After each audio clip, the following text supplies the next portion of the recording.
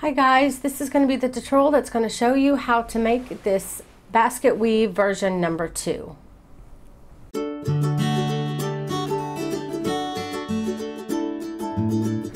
And to do the stitch, you can use any size hook and any size yarn. I used a worsted weight yarn. I used worsted weight yarn, which is 4 ply for the US, 10 ply for Australia. And this is the kind I used. It's Elise. Um, the color is 3366 in case you want to try to order it. It's old, so I don't know if you'll be able to find it. Uh, and also I'm using a 5 millimeter hook or a size 8 hook for the US. Uh, the multiples of the stitch can be done in multiples of 6 or multiples of 8. I like my basket weave stitch to be in sets of three, so I'm going to do in sets of six. If you like your basket weave to be in sets of four, then you'll want to chain in sets of eight. But the multiples is six plus three or eight plus three. So the plus three is going to be the same for either one. So what uh, the multiples 6 plus 3 means is that you're going to chain in multiples of 6, 6, 6, 6 until you've reached your desired width. And then once you have, you chain 3 and then you're ready to begin row 1. And it's going to be the same for the multiples of 8 plus 3. You'll just chain in sets of 8, 8, 8, 8 until you reach your desired width. Okay, so I have my multiples of 6. I've reached my desired width. So I'm going to chain 3 more and I'm ready to begin row 1. So for row one, it's the same for multiples of eight or multiples of six. You're going to put a double crochet in the third chain from the hook.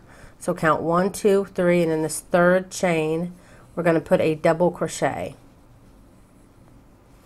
This chain here that's left on the end will be the chain two that for row two, that that'll be your last stitch.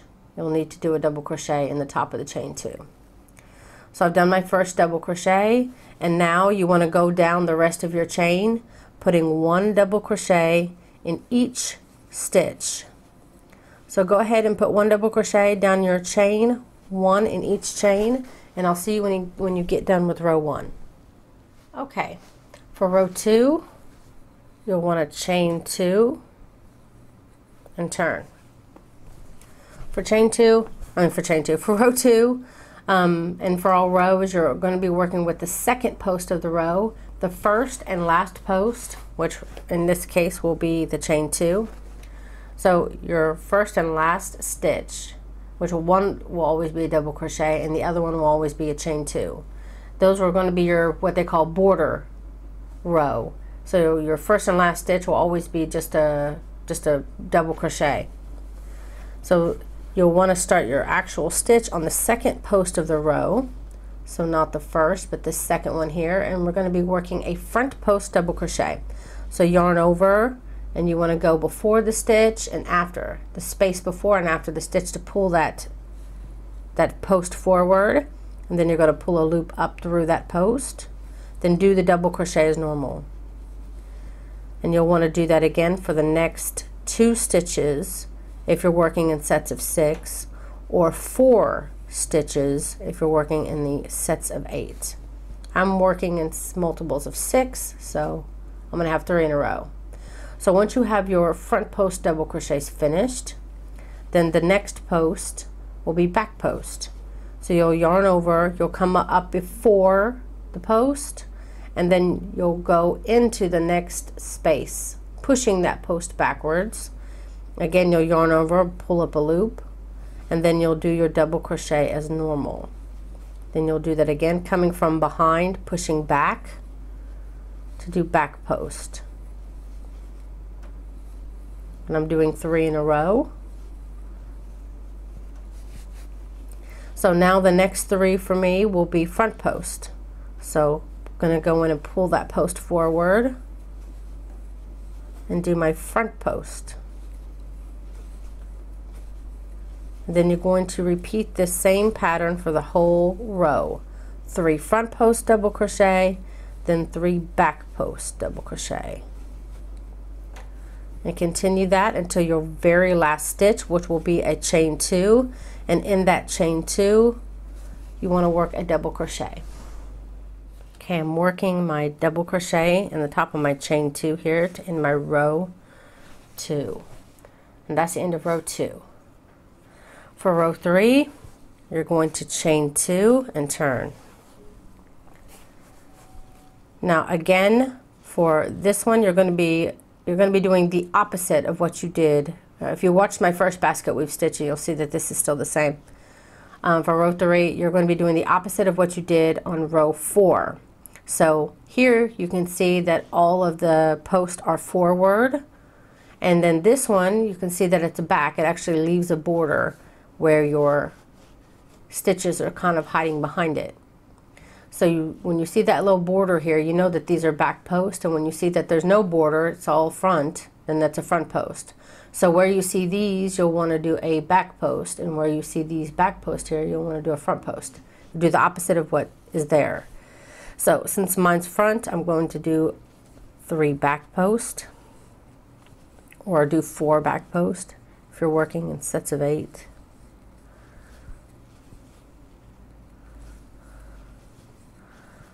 And then my next array will be front post. So you'll come back there, you'll push that, pull it forward, I should say, and do your front post.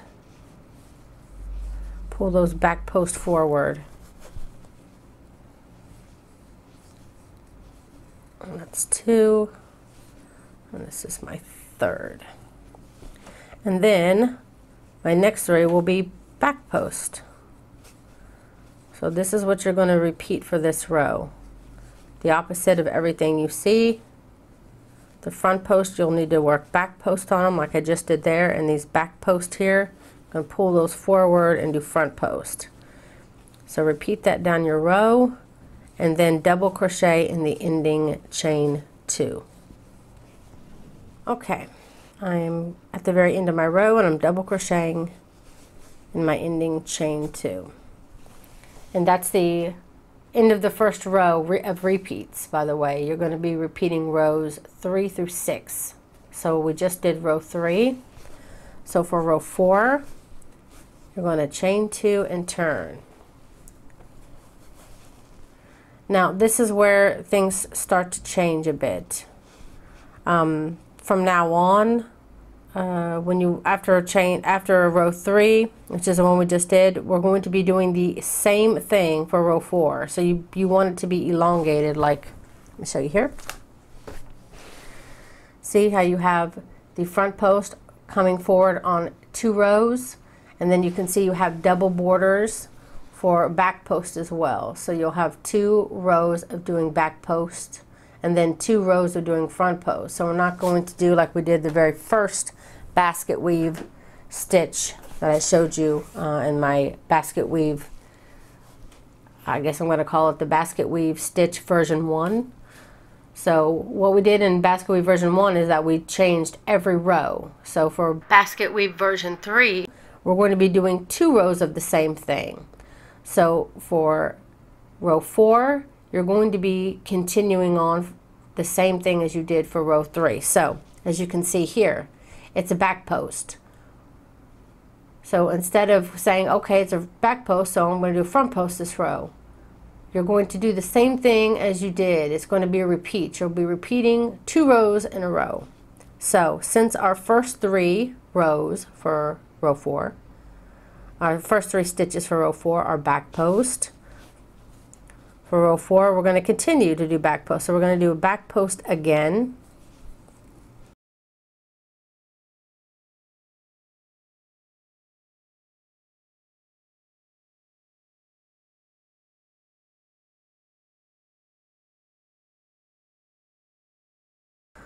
So again, you want to repeat what's already there. So we have front three front posts. So we're going to do three front posts for this row two. Row three and four need to be a mirror of each other. So whatever you see, you need to do again. And this, of course, again, we have this little ridge here, so we know these are back posts, so we're going to do back posts on the back post.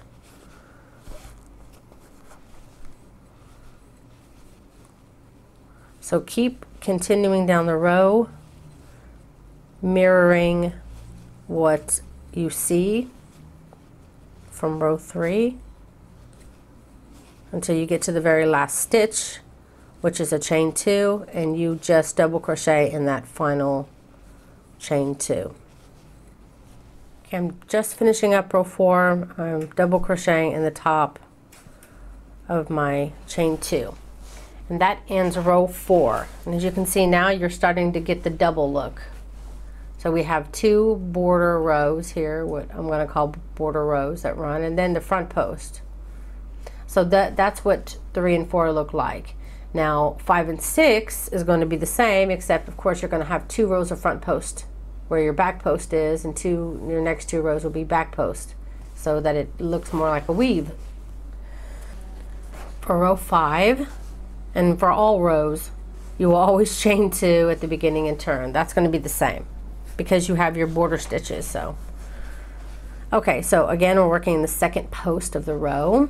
We have our two rows of back posts because you can see by our border here and these border here, border here. So now we're going to do our front post where our back posts are for this row. And then where we have our front post here, we're going to be doing back post. So we're going to push those backwards. And this is going to be your repeat of this row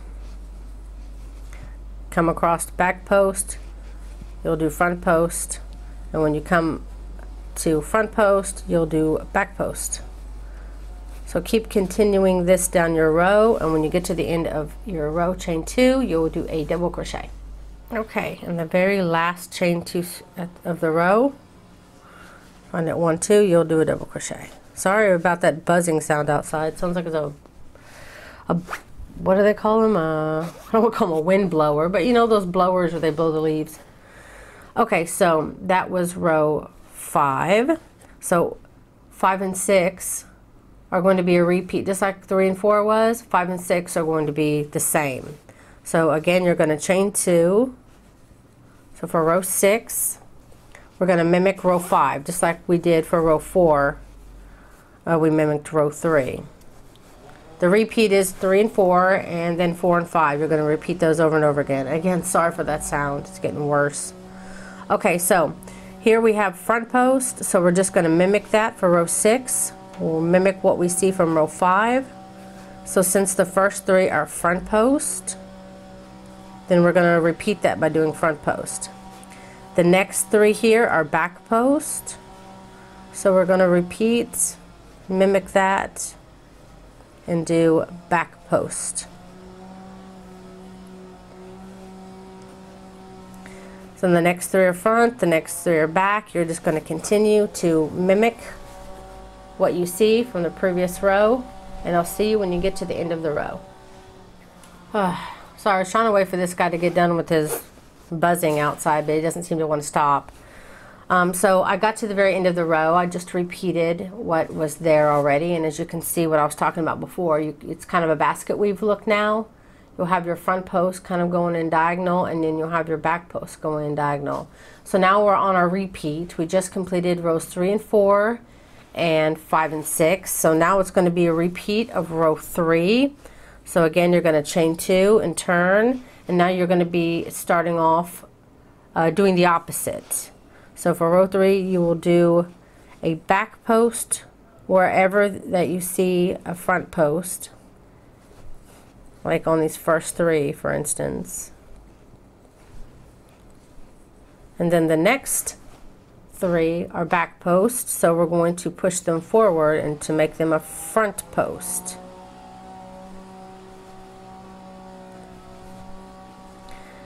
and you'll want to continue to do this down your row repeating row three from this is exactly so if you want to back up and and uh, go back to row three you can um, so this is row three and then when you chain two and turn remember for row four you're going to be mimicking whatever you just you just did for row three and then you're just going to continue like that again and again so that's it guys. I really hope you enjoyed this tutorial. If you did, please don't forget to like and share and comment on this video. It helps me out so much.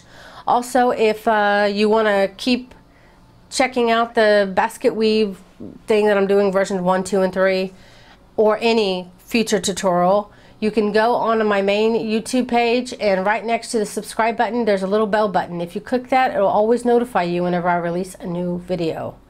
Uh, if you're wanting to know what kind of hook that I'm using, I'm using a wooden furls hook.